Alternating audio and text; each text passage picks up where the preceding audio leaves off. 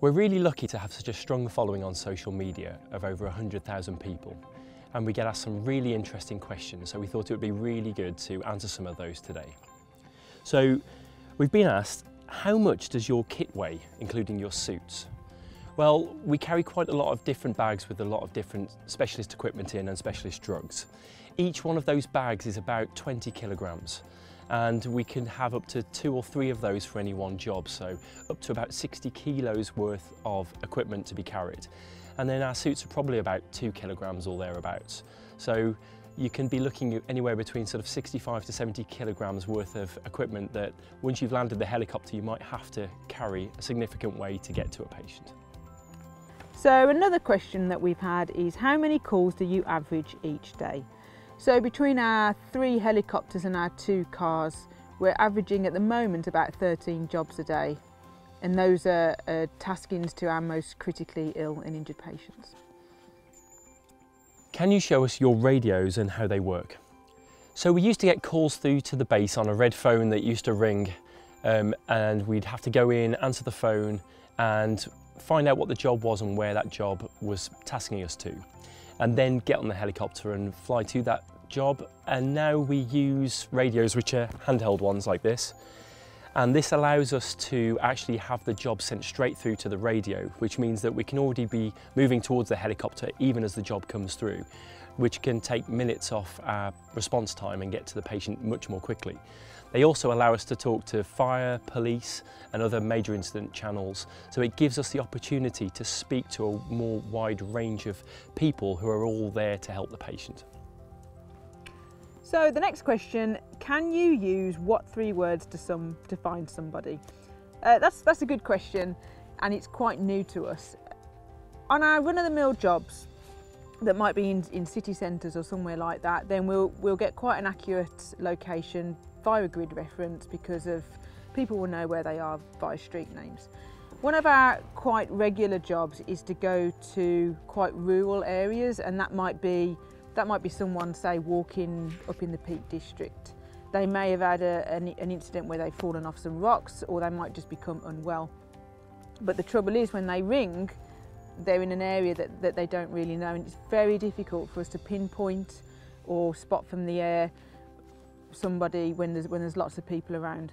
So if they can now use the What Three Words app and that information can be passed to our control room, that can then be converted into an OS grid reference passed to us, which allows us to immediately identify the patient and could cut several minutes off our attendance time because we know where to go straight away. How many missions do we attend each year? This number goes up year on year and um, at the moment it's about four and a half thousand missions every year which ties into the last question really in that missions cost two and a half thousand pounds and we're doing more and more and it, and it costs more and more so all donations are so important to, to provide the service. Right, so we've got a joint question next. Um, what is your favourite thing about being a critical care paramedic and a doctor? For me, one of the best things about being a doctor, certainly on this platform where I'm working pre-hospitally, so at the roadside on a helicopter, is just the variety of people that you get to help and the variety of situations that you're working within. So one day you might be sort of landing up in the Malverns or the Peak District, the next day you may be on a roadside, you could be helping adults, children, one patient, many patients. And I think as a doctor, you can bring skills that you would normally only see in a hospital, maybe an emergency department or theatres, and you can use those skills in that pre-hospital, out-of-hospital environment.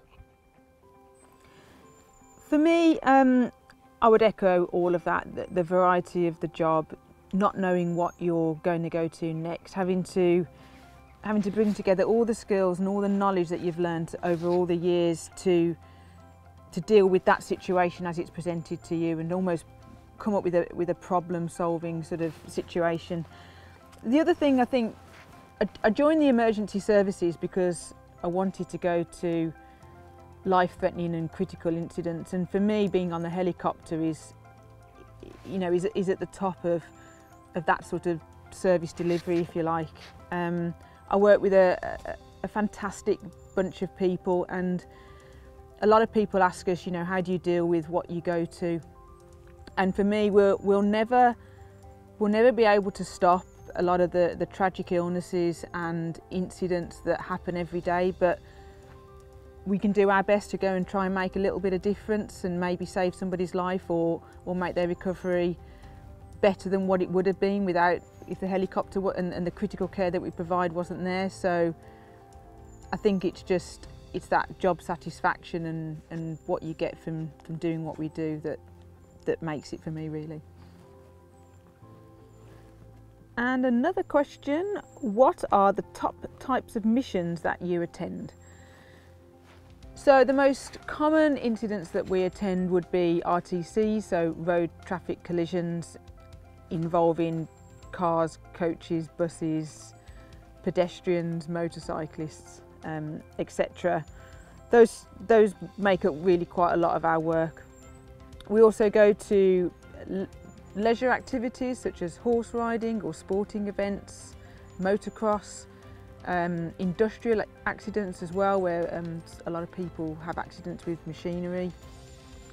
We also attend a lot of cardiac arrests and other critically medically ill people such as sepsis or respiratory arrests and things like that.